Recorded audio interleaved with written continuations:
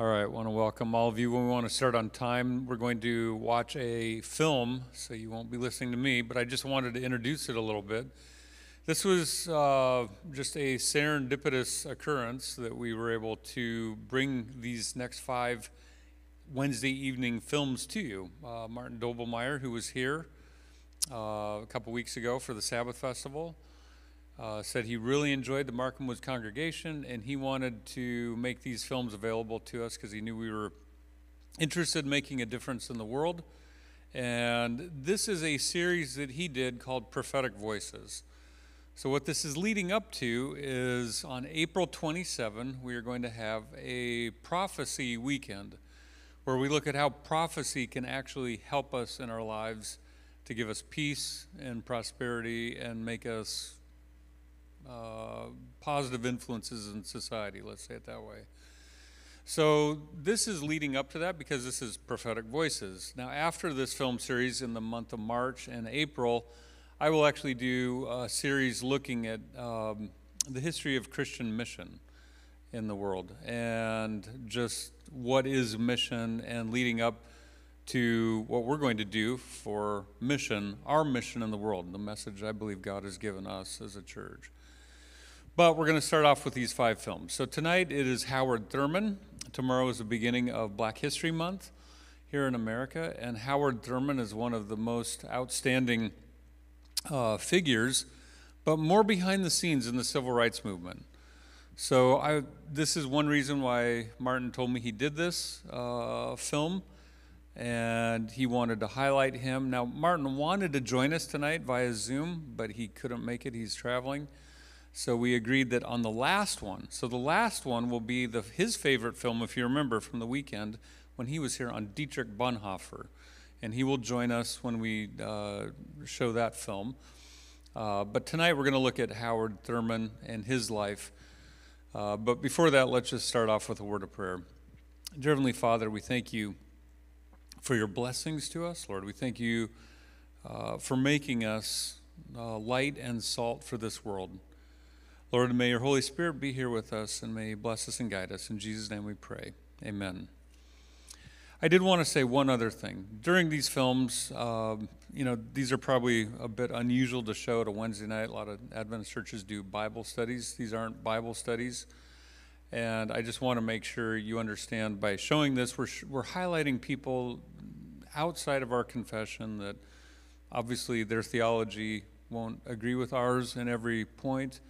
Uh, but I still think it's worth it to at least look at their lives and and see what we can learn from them and, and what they went through.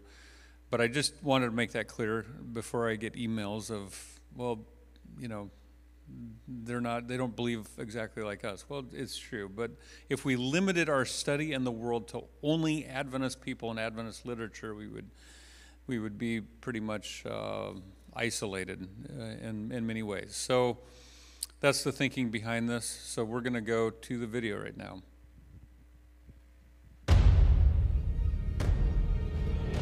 He was born the grandson of slaves, yet Howard Thurman would become one of the most celebrated religious figures of the 20th century. A spiritual mentor to Martin Luther King Jr. Whether we want it that way or not, we all tied together. And a moral anchor for the civil rights movement. Martin Luther King Jr. would quote Howard Thurman on many, many occasions. I think Howard Thurman, for many leaders in that movement, King included, played the role of pastor. In the 1930s, after an historic meeting with Mahatma Gandhi, Thurman becomes one of the early voices for nonviolent resistance for a people who over centuries experienced unimaginable violence. He helped to establish the philosophical framework of how to struggle. He saw himself as a spiritual activist because he was fundamentally a teacher. He had this combination of, of being kind and being strong, and I think that's a very rare combination. While Sunday morning was often considered the most segregated hour in the week, Thurman helped pioneer a church where people of different races and religions could worship together. He's suspicious of denomination and dogma and creed. He would never identify himself as a theologian because he thought theologians boxed God. And he was called a mystic because he believed religious experience was best explored within.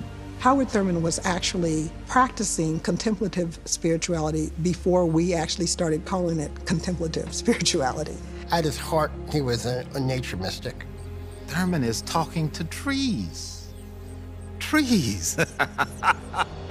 Yet this mystic was also an outspoken critic of Christianity for its part in the nation's deep racial divides, and he countered with a shocking new work that offered a revolutionary new way of understanding the life of Jesus Christ and how it speaks directly to the oppressed and disinherited.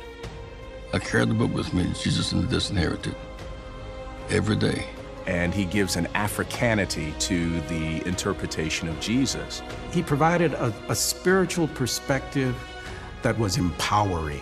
There were people encountering Thurman's work and being shaken at their core.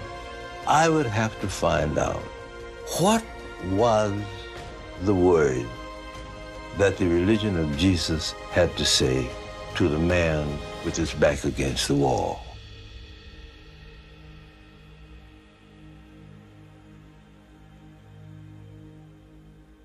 Major funding for this program was provided by Lilly Endowment. You will find true success and happiness if you have only one goal. There really is only one, and that is this to fulfill the highest, most truthful expression of yourself. Theologian Howard Thurman said it best. He said, Don't ask yourself what the world needs. Ask yourself what makes you come alive, and then go do that. Because what the world needs is people who have come alive.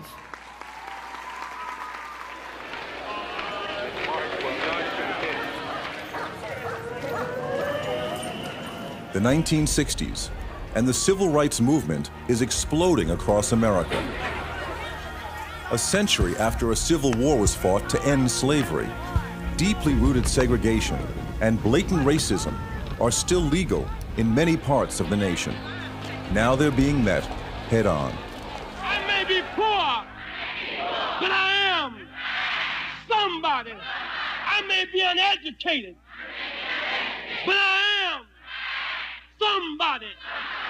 Jesse Jackson, Martin Luther King Jr., John Lewis, Otis Moss Jr., Vernon Jordan, and other civil rights leaders are convinced the moment for resistance has come.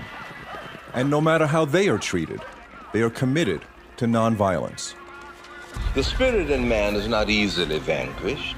It is fragile and tough. You may fail again and again, and yet something will not let you give up. Something keeps you from accepting no as a final answer. It is this quality that makes for survival of values when the circumstances of one's life are most against decency, goodness, and right. They were given the power and the authority to respond to the realities of injustice in ways that could be true to their faith and in ways that um, did not require them to compromise the integrity of who they were.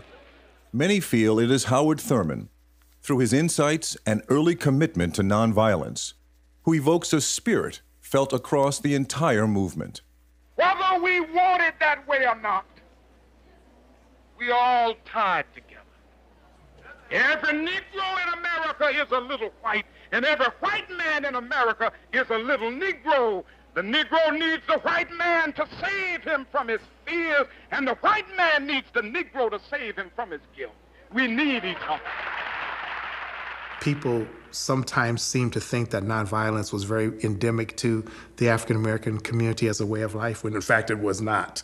And even Thurman is very clear that nonviolence was a kind of a cultivated experience for most rank and file people, including leadership.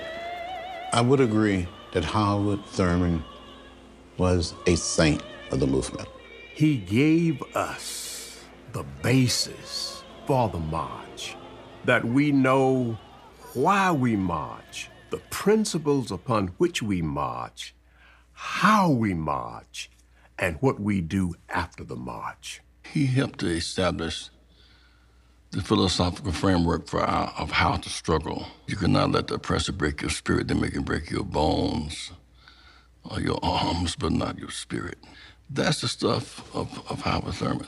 Dr. King was not completely committed to nonviolence. When I say not committed, he saw it first as a tactic until he was fully converted to it as a lifestyle. And, and my father helped me with that to, to understand that early on, people saw things as a tactic. This is the best way. Dr. King then moves to this is a lifestyle. And that is a direct connection to Thurman's conversion. And here is a nonviolent revolutionary. One of the foundational works for the movement is a book by Thurman, Jesus and the Disinherited. I have been told that Dr. King carried Jesus and the Disinherited with him most of the time when he traveled. It's a book that really describes what it means to be involved in such a struggle as a spiritual matter, as a matter of faith, and not just the effort to change laws for the gaining of civil rights. He says that the African Americans didn't have any rights, just like Jesus, but they could choose to ground themselves in their own inherent dignity and worth. And if one were to choose this, it would have a lot to do with how they would deal with the question of what do you do when your back is against the wall. The paradox is that Thurman, who has wide impact on the movement, is not himself first a social reformer.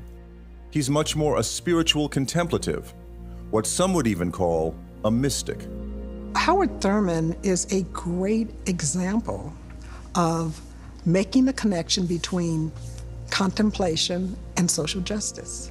But the mystic himself is not out on the front lines during many of the marches, and for that, he's often criticized.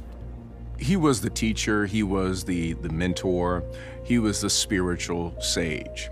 He was not the one who was on the front line, but he was the one where people would retreat to uh, to be refilled. They were praying for a great freedom fighter, a liberator.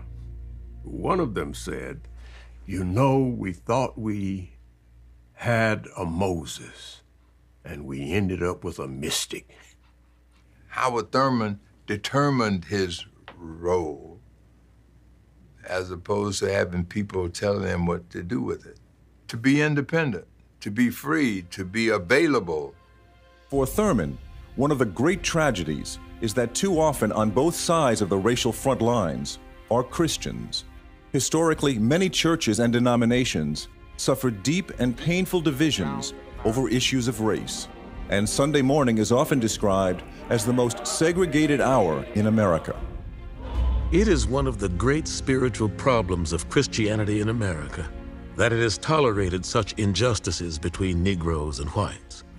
It is for this reason that many people all over the world feel that Christianity is weakest when it is brought face to face with the color bar. The spirituals are a key part of the civil rights movement, and many have their roots in early slave songs. Those songs are now uniting people across generations. Thurman writes one of the first books about the importance of those spirituals for a people who had been reduced to property as slaves. Something had made it possible for the slave cut off from all of his roots to survive, to uh, hold himself in some vast immunity against the violences of his environment. I think spirituals are the most powerful music ever created. Spirituals were music of resistance in the slave era. There are original spirituals that are sung the way they were sung, but then they retext them, they contextualize them. So you have Ain't Gonna Let Nobody Turn Me Around, but then they put in Ain't Gonna Let Sheriff Clark Turn Me Around, Ain't Gonna Let Your Dogs Turn Me Around, Ain't Gonna Let the Hoses Turn Me Around. And it gives them faith and motivation and courage in a situation that facing dogs and hoses, you, you need the courage if you're going to do it. Songs like Oh Freedom, Oh Freedom, Freedom over me. And before I'll be a slave, I'll be buried in my grave. Wisdom passed down from the slaves, a sense of creating that inner sanctuary, are all part of Howard Thurman, going back to his earliest days. So he's basically saying, don't let other people's violence or degrading words or whatever invade your inner sanctuary. That, that can only happen if you allow that. That's real difficult and psychologically if in fact you've been hearing this over and over again. But he's saying your strength is this connection to the eternal.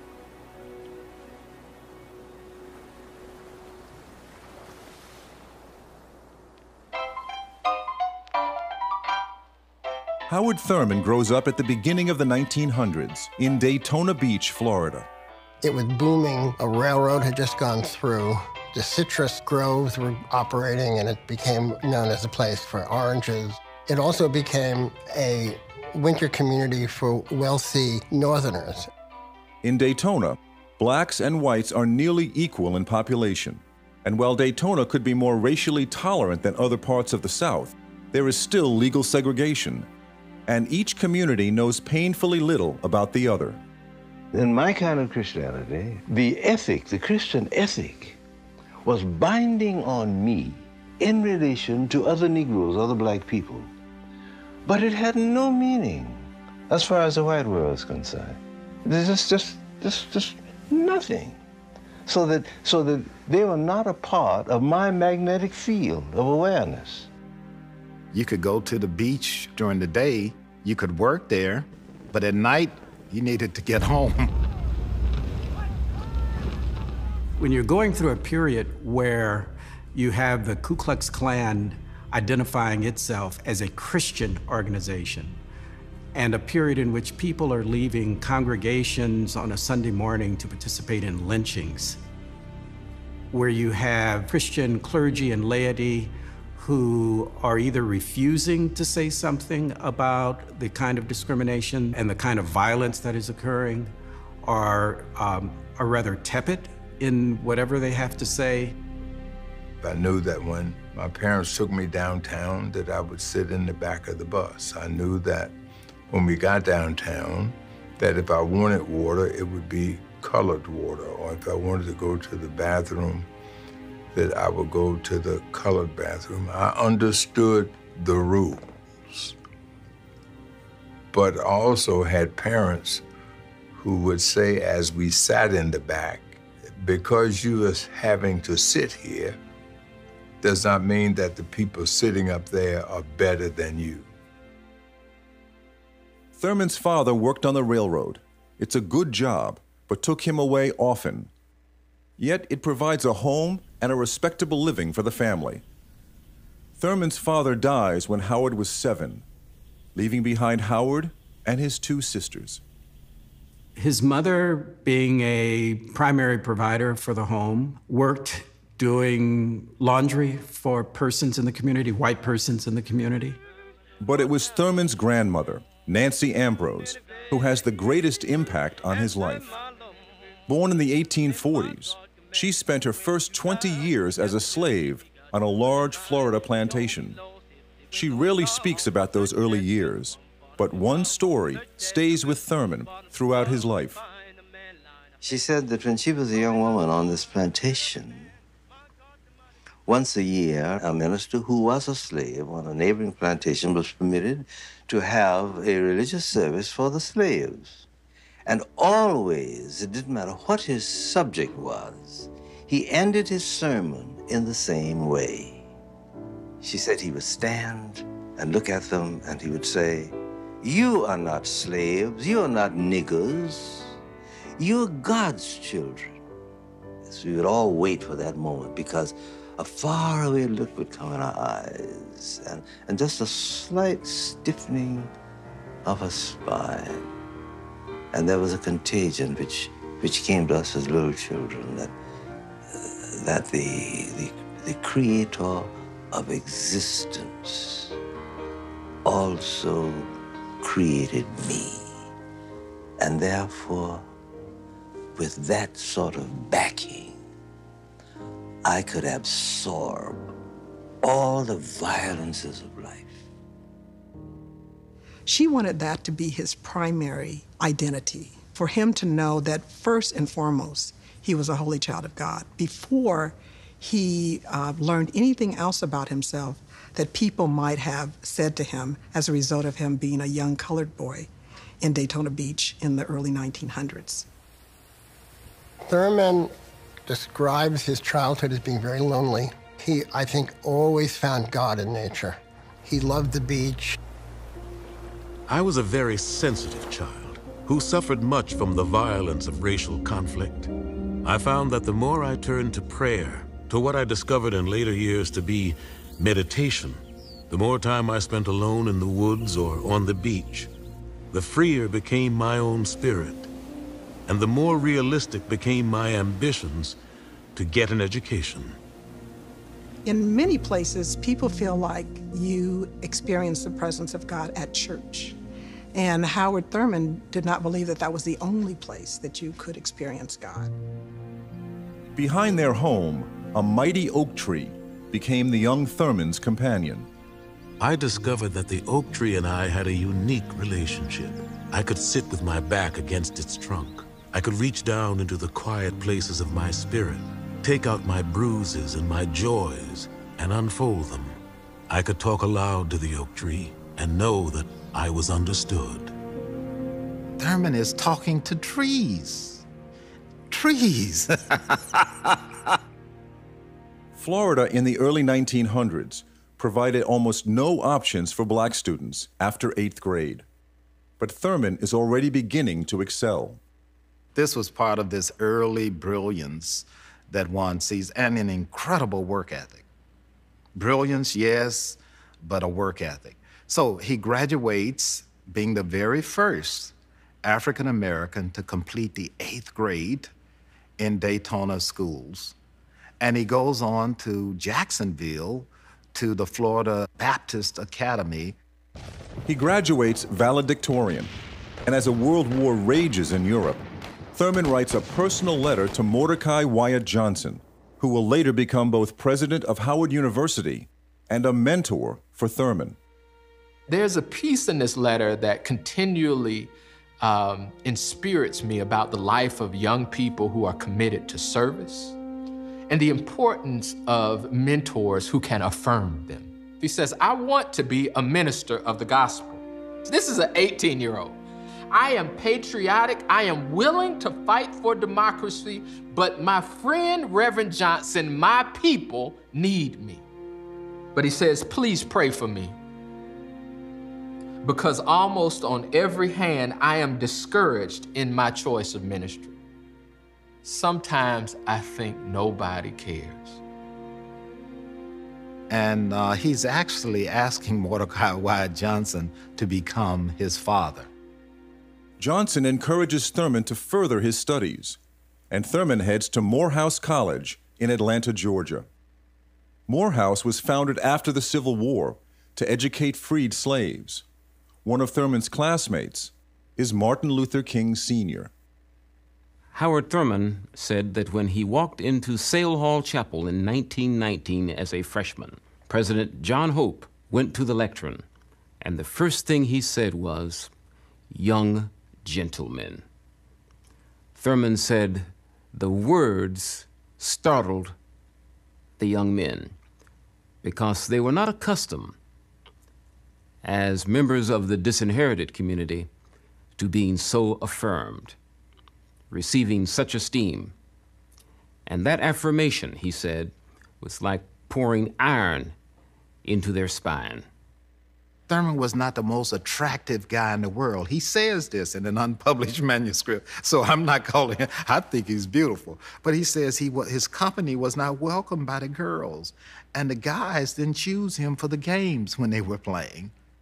At Morehouse, Thurman becomes active in the Young Men's Christian Association, the YMCA, as well as the Fellowship of Reconciliation, where he explores ideas of nonviolence.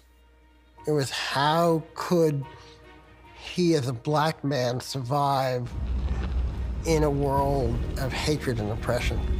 Pacifism was a spiritual resource for him to give him the strength not to hate these people, not to fear these people, but to deal with them as equals. Before he leaves Morehouse, he reads every book in the library, again becomes valedictorian, and now sets his sights on ministry at Rochester Theological Seminary in upstate New York. He's one of only two black students accepted each year. I believe Rochester is, is a place where Thurman begins to be aware of how the Christian faith um, is more than the way in which a particular denomination gives expression, and to have a vision of, of who are our sisters and brothers beyond even the Christian family. While studying at Rochester, Thurman receives invitations to speak in white churches, where he's often monitored by the Ku Klux Klan. But he's also doing something more. He's traveling through Rochester late at night. He is teaching black maids and male servants the very things that he's learning in the seminary because he has felt indebted that what he is gaining needs to be available to those who do not have the opportunities to be part of this stimulating experience in which he finds himself. Thurman completes his work at Rochester, but there's one more piece to his education. Thurman stumbles upon a book by a Quaker mystic, Rufus Jones, and not long after, Thurman leaves for Haverford College, outside Philadelphia, to study under Jones. It would be impossible to discount Rufus Jones' influence on Howard Thurman. I think the Quaker tradition, not only of honoring silence and solitude and interior experience of the divine, but also the recognition of the inner light in everyone, and also the emphasis on social justice, made that a perfect match for Howard Thurman. In 1926, Howard Thurman marries Katie Kelly just a, a young woman who is deeply committed to caring for those who are less fortunate. In October 1927, their daughter Olive is born. But by 1929, tragedy sets in. Katie contracted tuberculosis from her work as a social worker. A year later, Katie dies. Thurman is devastated. He returns to Morehouse College to settle in as a single parent and teacher.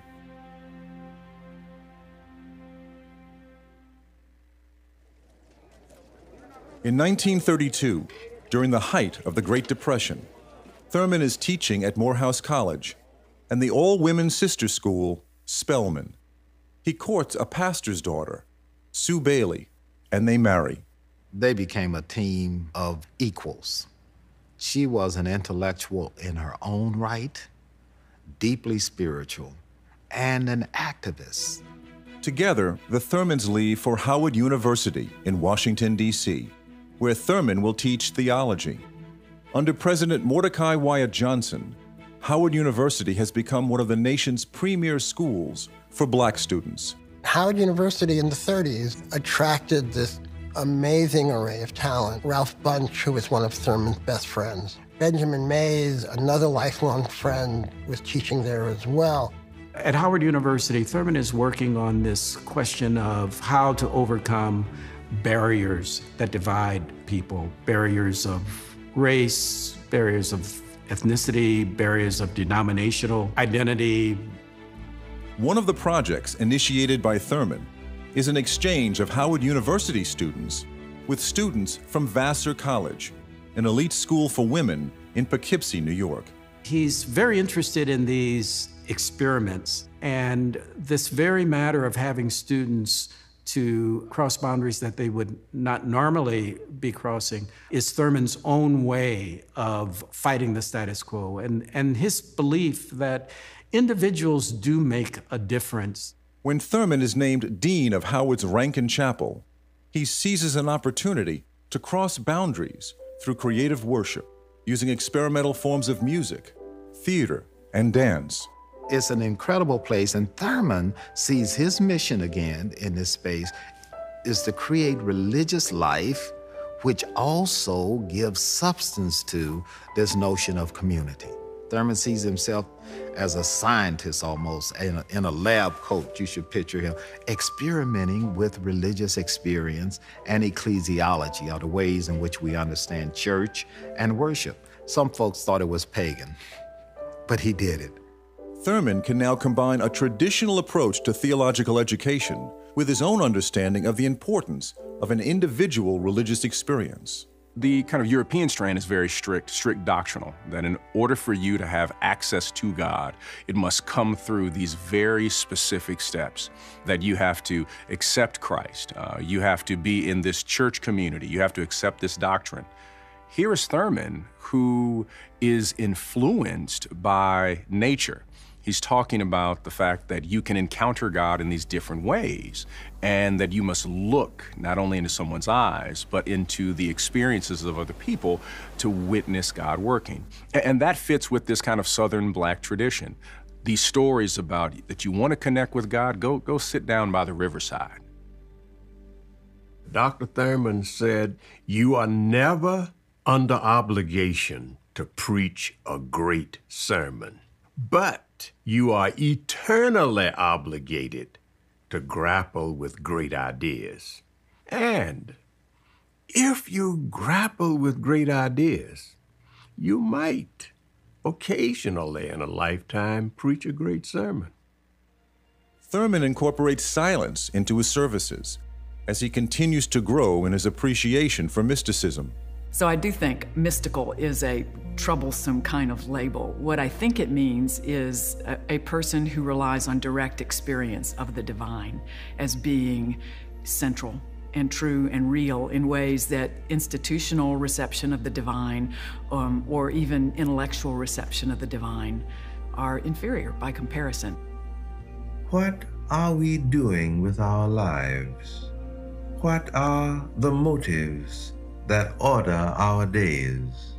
Where are we trying to go? Where is my treasure? This deep voice, and he would he would take these long pauses and would kind of throw his head back, and his eyes would be closed, and and as as he made the pause, it would it would kind of draw you in. The fact that he learned to live from silence, learned to listen, for what he was being called to do was unusual for the time. And oftentimes he was not well received by other black preachers. What do I I want? What do I want really? But these long periods of silence that suggested this was not a rhetorical question.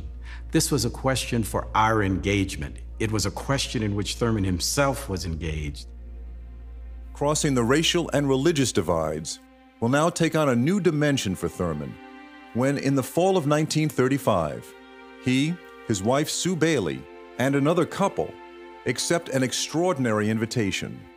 They travel by ship to the other side of the globe, to what is now Sri Lanka, Myanmar, and India.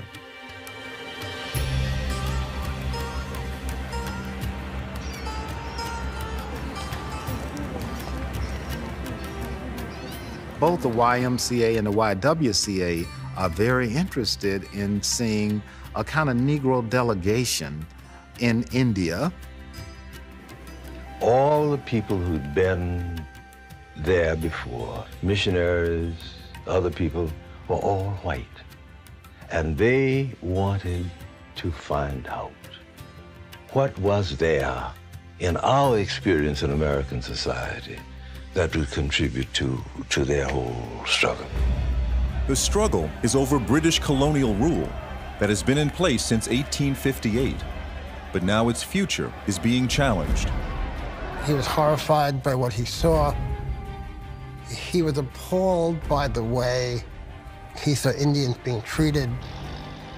He was horrified by imperialism.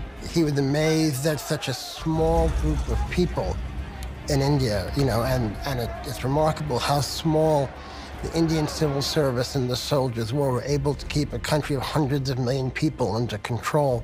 Throughout India, millions of people, the poor and often most destitute, came to be known as untouchables. Thurman caught this as a major concern. Not only was a person despised and was aware of being despised, but they had somehow incorporated this into their very identity. And he made a uh, correlation between that and the struggle of African Americans. Sue Bailey is a leading figure for the National YWCA. She takes on a leading role for the visiting delegation. She was one of the most intelligent, graceful people that you're, you're ever going to meet. She just carried herself with, with such dignity. There, there was never any question about him not feeling that she was an equal. Sue Bailey Thurman looked like she was from India. she could have easily passed as a woman living in India. She, she lectured on the history of African Americans, from slavery to their present context, and especially the role of women. Over the next months, Thurman travels hundreds of miles across India and delivers more than 100 talks. More importantly for him, his horizons for religious expression are being opened. In India, everything was foreign and new. The smells, the altars, the flowers, the chanting, all of it was completely outside my universe. I had to find my way to the place where I could stand side by side with a Hindu, a Buddhist, a Muslim, and know that the authenticity of their experience was identical with the essence and authenticity of my own.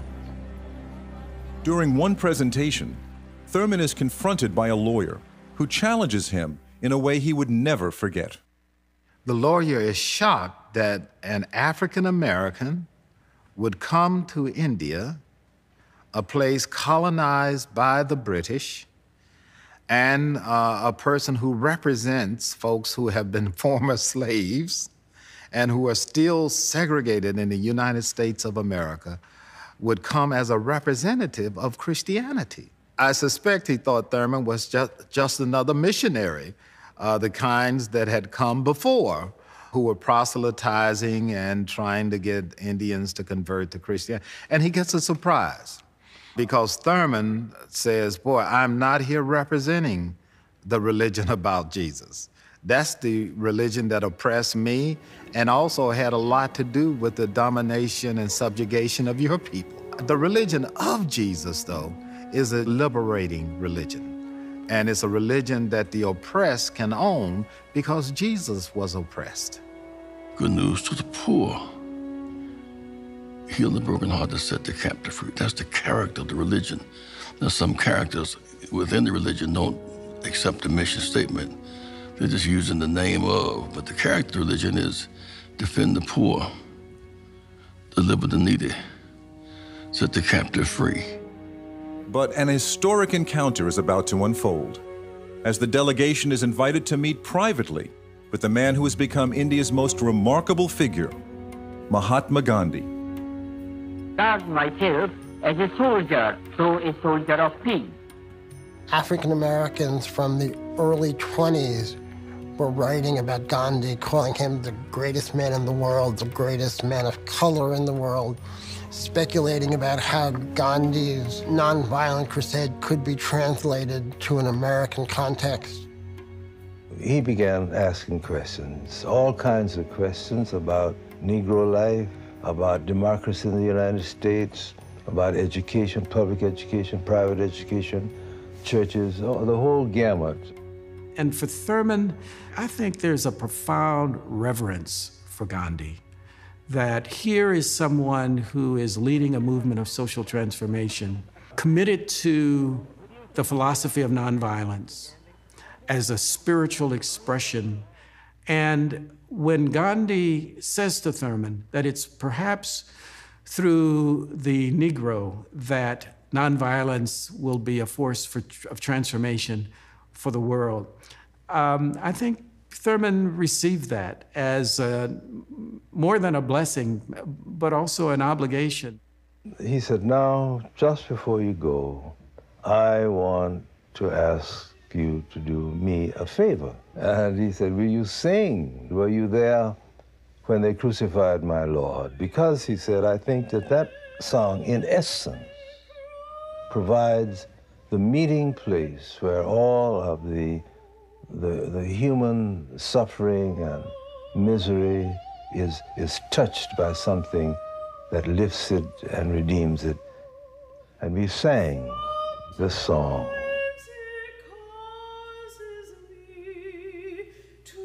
Thurman's earlier notions of nonviolence are given new meaning. He leaves India with a deeper appreciation for the spiritual grounding for any nonviolent movement and a commitment to see it realized for his own people in America. And he came back speaking and talking about the philosophy and the discipline of nonviolence. And he would preach and, and, and, and teach at colleges and universities would give these unbelievable lectures. And, so it, it did influence Dr. King a great deal. He painted a picture, he made it real. The 1940s, and America is drawn into yet another world war, this time in Europe and the Pacific. The horrible atrocities, as well as the all out commitment to war, pose a challenge to any notion of nonviolent resistance. Thurman remains a pacifist, but not an absolutist.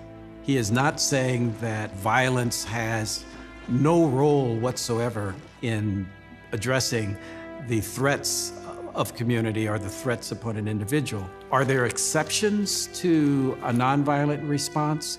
Um, possibly so. So he's writing letters, especially to African American military people, men and women, and he's also providing pastoral support.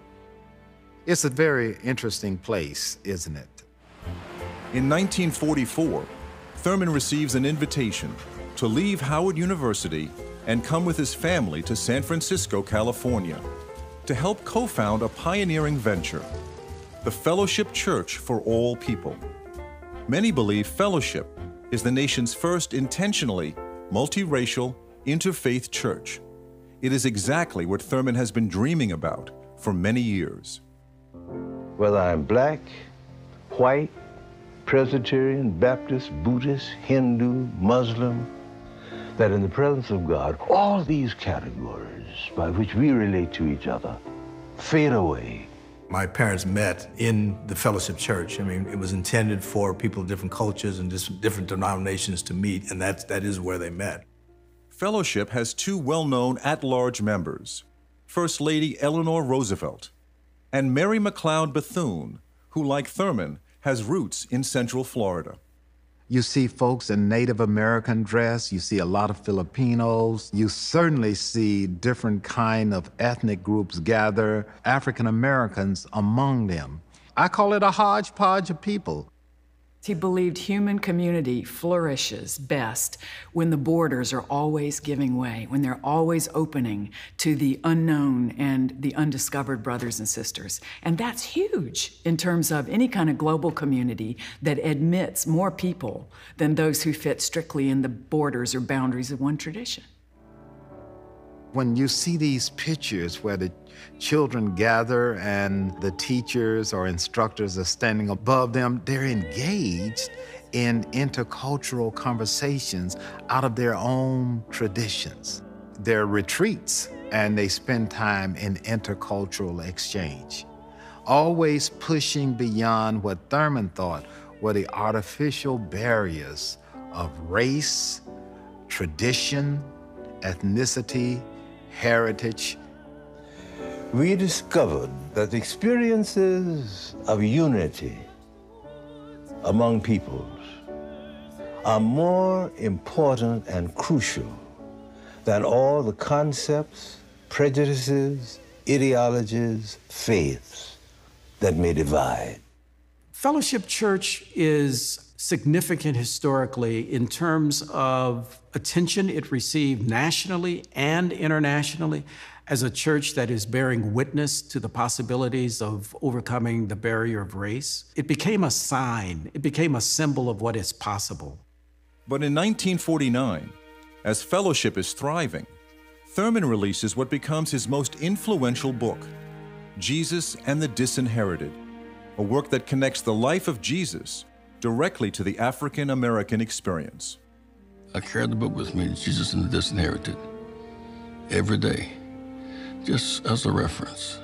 Jesus was a Jew, right? That was his first point. Jesus was poor. He was a poor Jew. Jesus was a poor Jew from a minority group, right?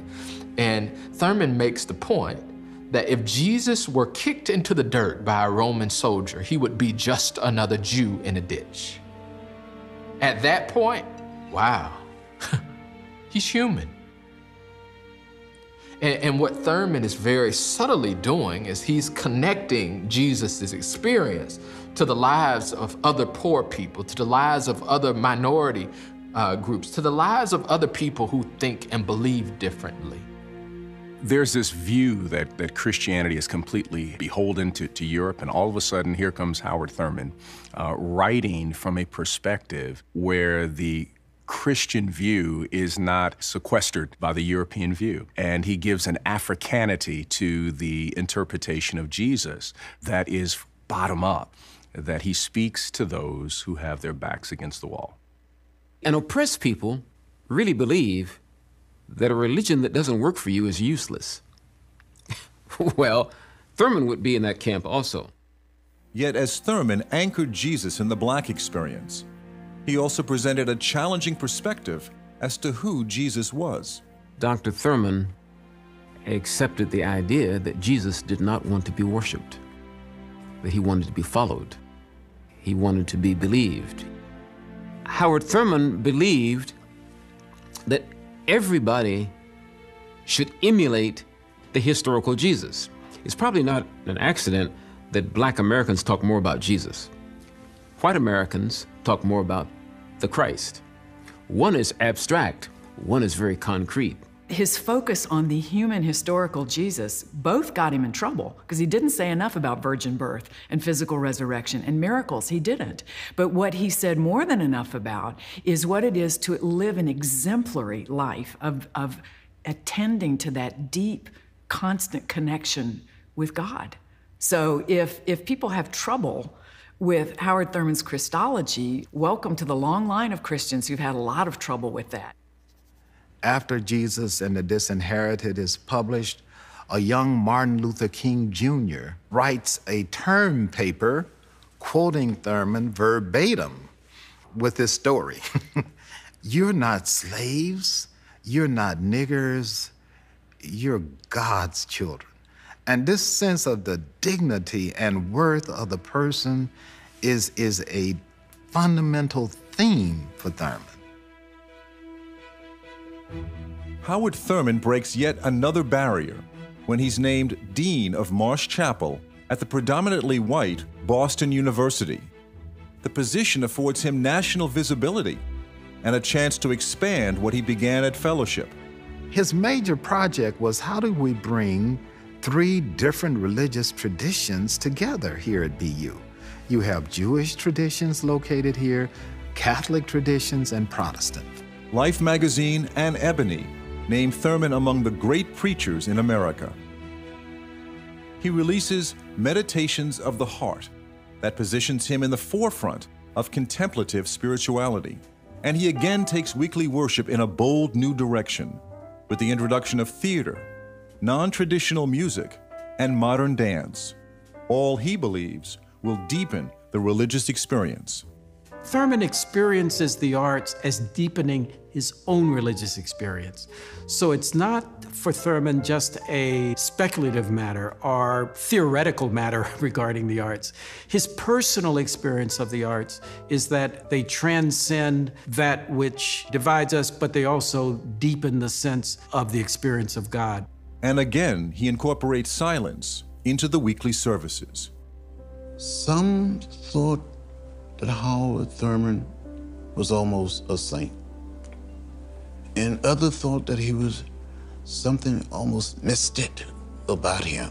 I think a lot of people just don't understand the power of silence. And he certainly is the one to encourage it with his meditations, how good it is to center down or in quietness and confidence.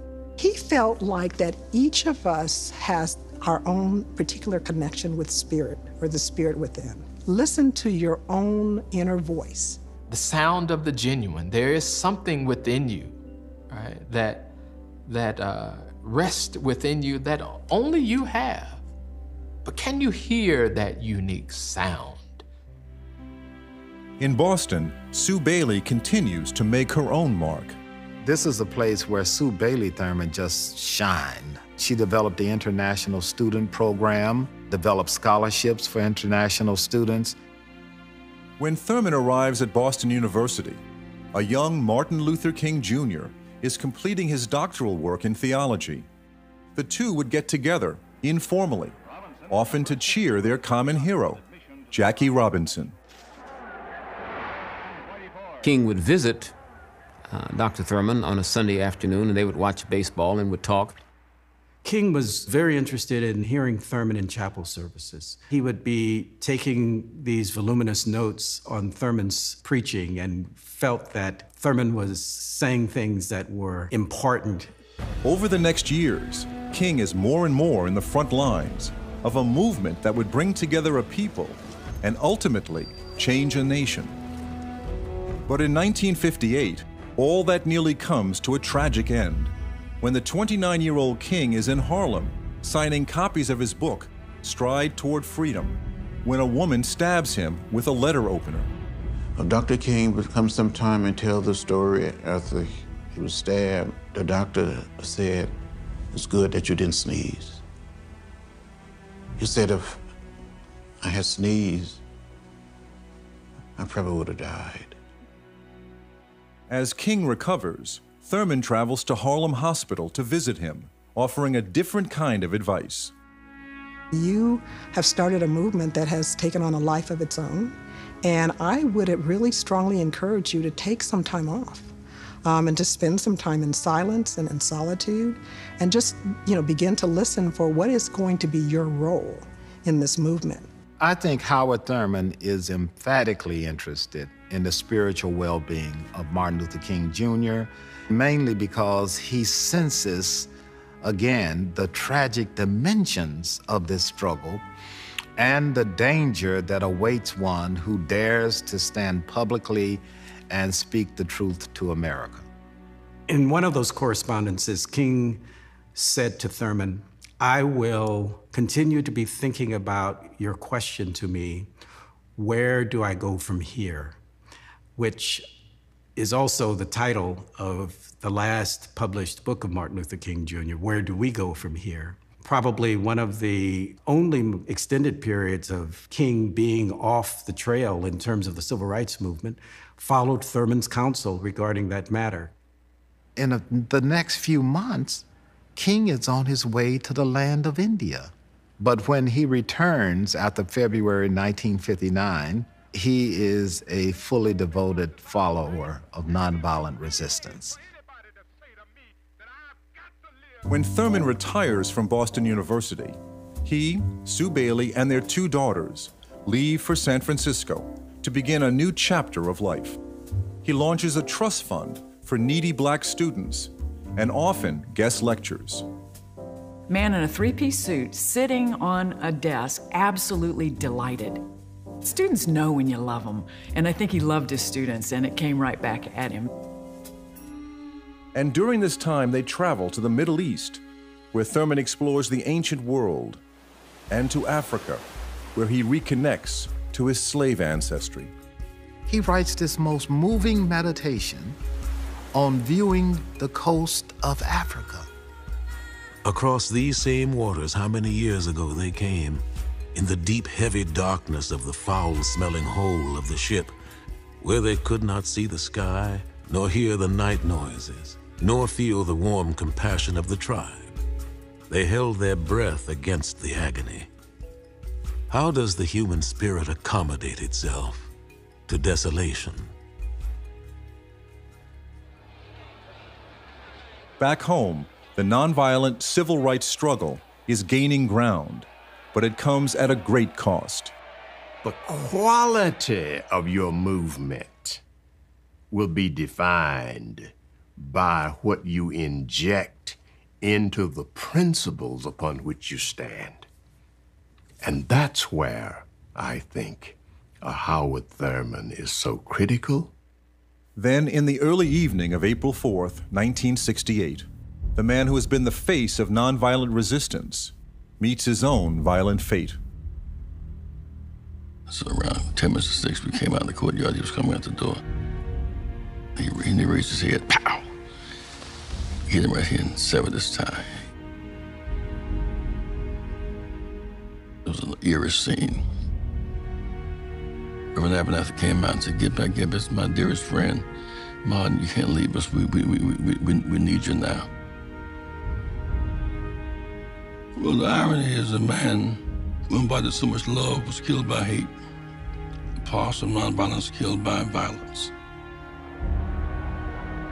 As the nation grieves and many take to the streets in rage, Thurman is invited to eulogize the man he helped guide into the nonviolence movement. Martin Luther King was the living epitome of a way of life that rejected physical violence as the lifestyle of a morally responsible people. He was able to put at the center of his own personal religious experience a searching ethical awareness. Thus, organized religion as we know it in our society found itself with its back against the wall.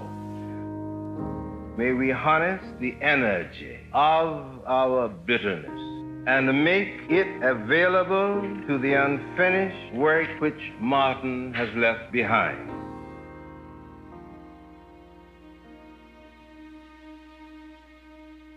The 1970s in San Francisco afforded the Thurmans more time for family and friends.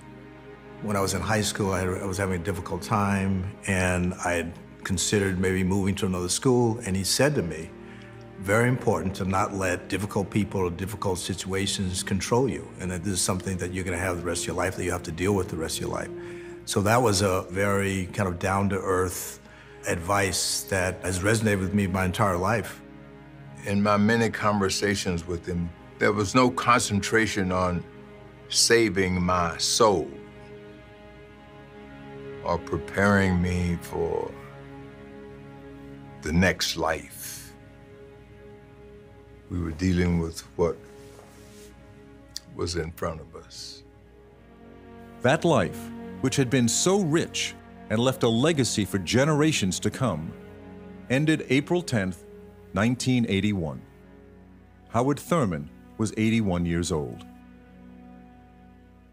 I think he was one of the unacknowledged shapers of 20th century America and in shaping American religion. If you are a serious person about your own journey, especially if you are in the struggle for human rights, you've got to meet Howard Thurman.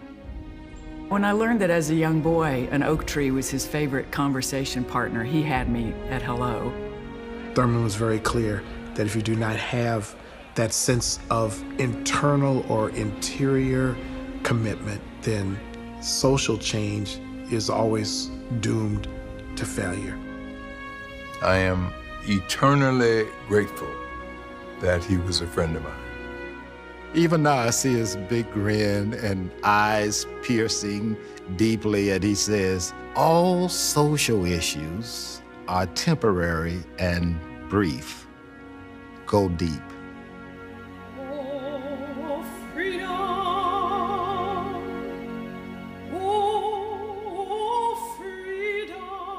The idea that God is the God of the darkness and the light. This is the ground, it seems to me, of my own transcendent religious experience that gives to me courage even in the presence of the most acute contradictions of life, and this is the basis of my hope. Did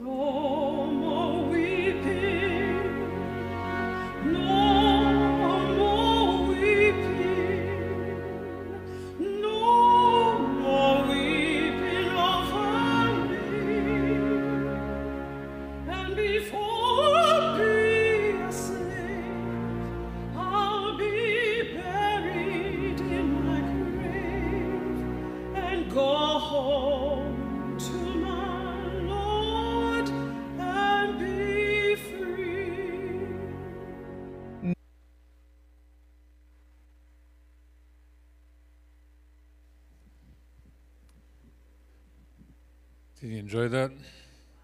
Yeah. Very interesting.